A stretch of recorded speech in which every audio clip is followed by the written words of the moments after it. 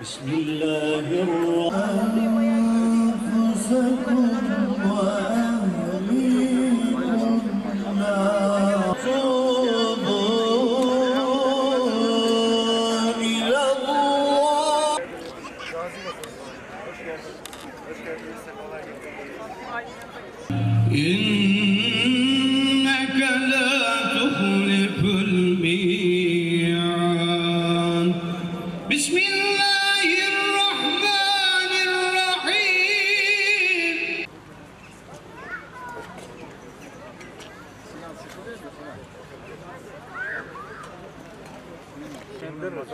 Buradan başlıyoruz değil mi?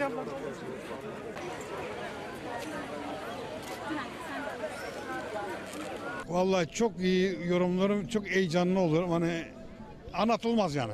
Onun için heyecanlanıyorum. Çok duygulanıyorum. Hani anlatmak daha zor yaşamaktan. Çok duygulanıyorum vallahi. Hani bizi önde görüyorlar ya da. Hani o sebepten çok duygulanırım. Gazi dedi mi tüylerim tiken tiken oluyor. Vatan için gazi olduk biz. Hani şahsı şimdi vallahi işte bizi örnek alsınlar.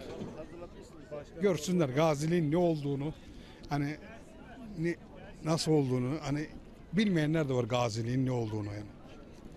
Taksim'de yaralandım. Askerlerle arbede sonucunda e, 25 tane askeri kovaladık. 25 tanesi sırtları anıtıda dönüklü oldukları için onlar biraz şanslılardı. İşte ateş etmeye başladılar bize. Biz teğet geçti falan mermiler böyle. Bir iki tane diplerindeydik biz zaten. Ondan sonra bana sıçradı 6 tane şarapnel parçası.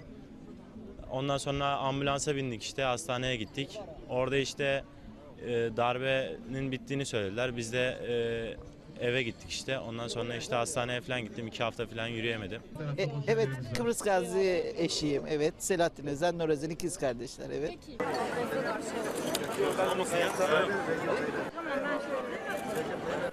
Burası 15 Temmuz darbe girişiminin aktif icra edildiği kışlalardan bir tanesiydi. Ve bu kışla 1912'den beri Bettiz kışla olarak kullanılan bölge. Şu anda 15 Temmuz Şehitler Parkı olarak açtık, açtık ve ilk etkinliğimizi de 15 Temmuz'da şehit olanlarımızın yakınları ve 15 Temmuz'daki gazilerimizle beraber burada iftar yapıyoruz.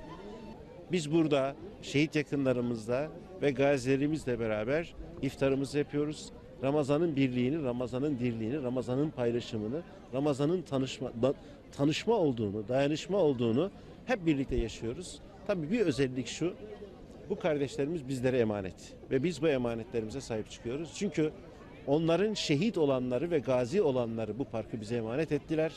Bize bıraktılar, bize miras olarak bıraktılar. Onlar da bize bunlara emanet olarak bıraktılar. Biz de bu kardeşlerimize, emanetimize sahip çıkıyoruz. Allahu Ekber, Allahu Ekber.